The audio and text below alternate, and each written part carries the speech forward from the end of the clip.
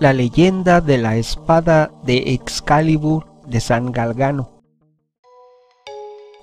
Todos conocemos la leyenda del rey Arturo y la espada en la piedra, y generalmente la situamos en el medievo, en la zona de Inglaterra. Pero como veremos ahora, quizás el verdadero origen de esta leyenda o mito se encuentre un tanto lejos de las tierras inglesas, en plena Toscana italiana. La historia de San Galgano es extraña, Nació en Chiusdino en 1148 y cuenta la leyenda que por gracia del arcángel San Miguel, una vez siendo sus padres de San Galgano, Guido y Dionisia. Galgano Guidotti tuvo una vida despreocupada.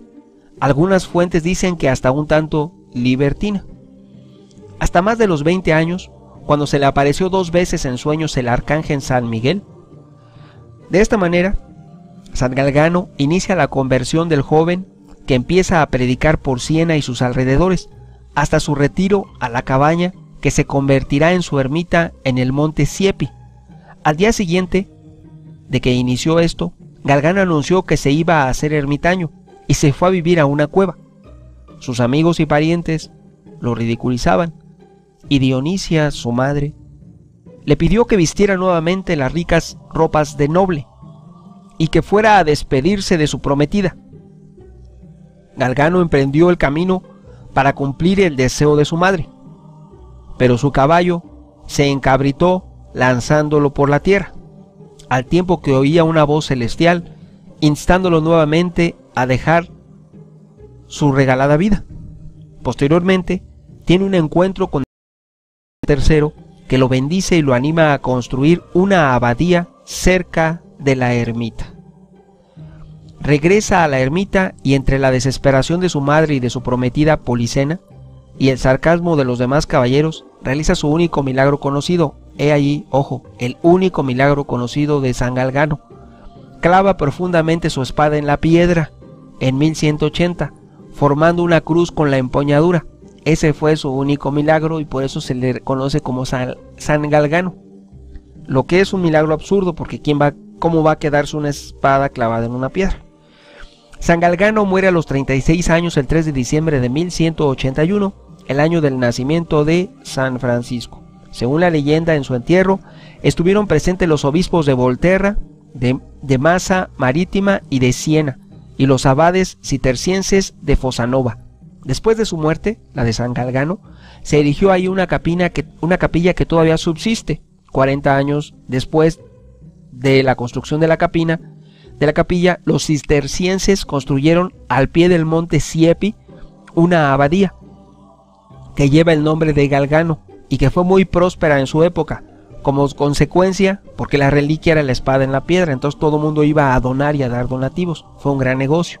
San Galgano se hizo tan popular que cistercienses y agustinos lo reivindicaron, cada uno por su lado, como uno de los suyos. Fue canonizado en 1185 por ese único milagro, la espada en la piedra. Por culpa o mérito de la estupidez humana, en la actualidad la espada en la piedra está protegida por una vitrina antivándalos y a prueba de gente que pretenda alguna otra cosa. Así, un hombre rompió la espada en 1992 dos por intentar extraerla. La empuñadora fue soldada de nuevo a la hoja y se protegió con una vitrina de plexiglas. Existe, puedes visitar esa espada en la piedra. Ahora, lo más lógico es que se perforó la piedra y se fraguó con, eh, con una mezcla al hierro vivo, al rojo vivo, y se fraguó sobre la piedra. Y ahí esa es la leyenda absurda, porque no es una espada forjada, es una espada tosca forjada ahí in situ, en el lugar. No es una espada como la que usaban los caballeros de aquellos tiempos, con, eh, decorada, eh, con piedras, eh, tallada, bien labrada. Es una espada tosca y burda, fraguada in situ. Sin embargo, debido a este supuesto milagro, se canonizó San Galgano y de ahí viene la leyenda de la espada en la piedra. Hasta aquí es la explicación de la espada en la piedra de San Galgano, pero recordemos que también está la llamada Excalibur, que es el nombre más aceptado de la espada legendaria del rey Arturo, a la que se le han atribuido diferentes propiedades extraordinarias a lo largo de las numerosas versiones del mito y las historias que se han sucedido a lo largo de los años y al paso del tiempo. La leyenda cambia de boca a boca y de siglos y siglos que pasan. En su origen, la fuente más antigua nos dice que la espada empuñada por el primer rey de los britanos, eh, que está en el libro Historia de los Reyes de Britania, escrito por Jeffrey Momot, ese libro se escribió ya hace muchísimo tiempo, fue en 1130. Pero ahí no se menciona que se liberase de la piedra, que existía una espada que fue liberada de la piedra y que alguien fue rey. Eso no decía en ese libro el primero que la menciona. La historia de los reyes de Britania, el primer libro donde se hace mención. Algunos años antes, sin embargo, los monjes de Cluny habían divulgado la leyenda del caballero de San Galgano, que es la que les relaté en un inicio. Probablemente ese caballero fuese llamado Wawin o Galván, que contiene elementos coincidentes como la espada insertada en la piedra, que aparece por vez primera en la materia artúrica, en, los que admiran al rey Arturo y que le conceden eh, eh, grandiosidades. Aún así, eh, en relación a Arturo y a Merlín, escrito por Robert de Boron, que ese es otro. Sin embargo, te diré que el origen es más antiguo de lo que se piensa de una espada en una piedra. Puede haber sido incluso en la época de los romanos eh, con el emperador Servio.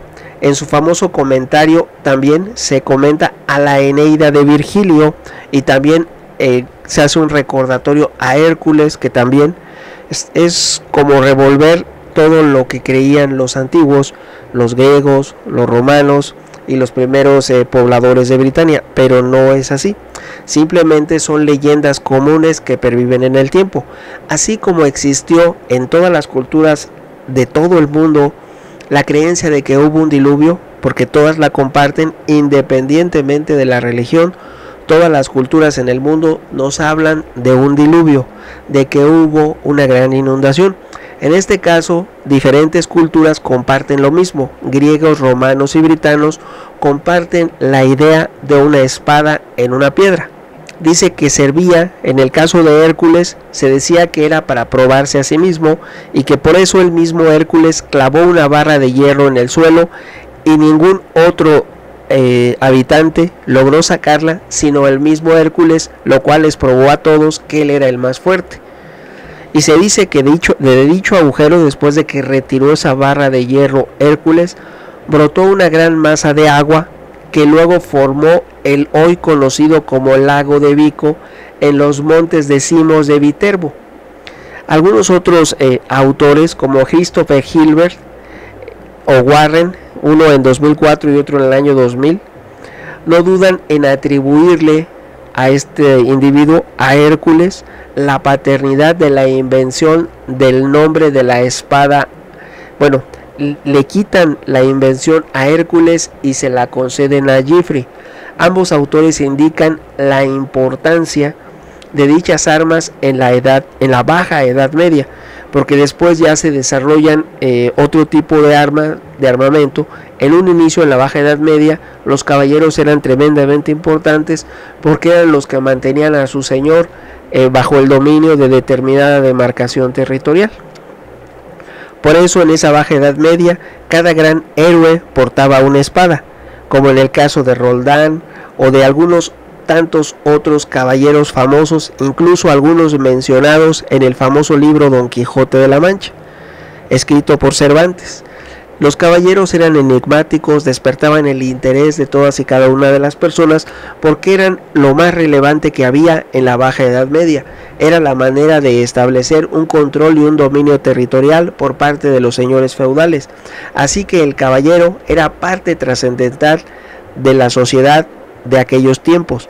Aunque existen varias teorías respecto al origen de Excalibur o de la leyenda de la espada en la piedra, te diré que así como hay diversas historias de un Arturo o de otro Arturo, porque no coinciden todas en lo mismo, cada una le da una un, un sentido diferente aunque hablen de la misma persona.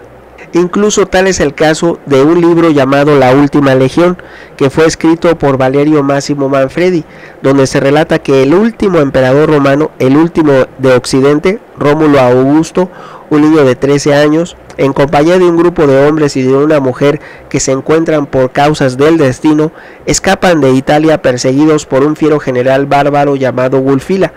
Estando encerrados en la cárcel de Capri, Rómulo, junto a su tutor, Ambrosino, quien resulta ser un druida celta llamado Myrdin Emeris, encuentran la espada, la espada en la piedra, con la que se dice que Julio César conquistó la isla de Britania. Por lo tanto, Ambrosio, fiel a una vieja leyenda celta, lleva al niño junto a un grupo de hombres a Britania, a donde prometió volver con un ejército para proteger al país de las invasiones provenientes del norte o de los vikingos.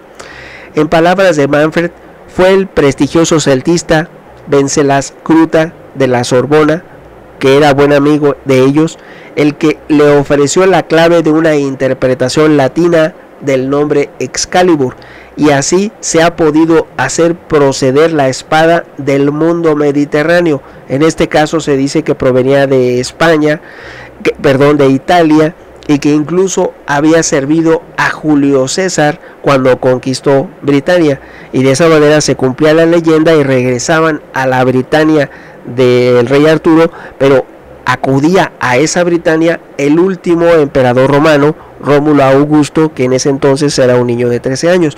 Por lo tanto, hay diferentes leyendas y explicaciones a la espada en la piedra. ¿A ti cuál te gusta? ¿Cuál consideras que es la más adecuada?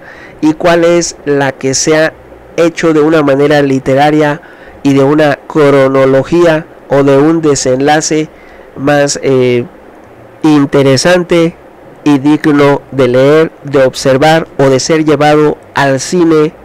¿Y cuál película te gustó más? Sin lugar a dudas, esa leyenda es enigmática y está muy en la mente de los británicos. Excalibur, la espada en la piedra o la leyenda de San Galgano. ¿Cuál te gusta más? ¿Cuál, ¿A cuál le concedes mayor crédito de todas? La elección es tuya. Opiniones habrá muchas. ¿Tú qué piensas? Tu amigo Megóforo. Hasta pronto.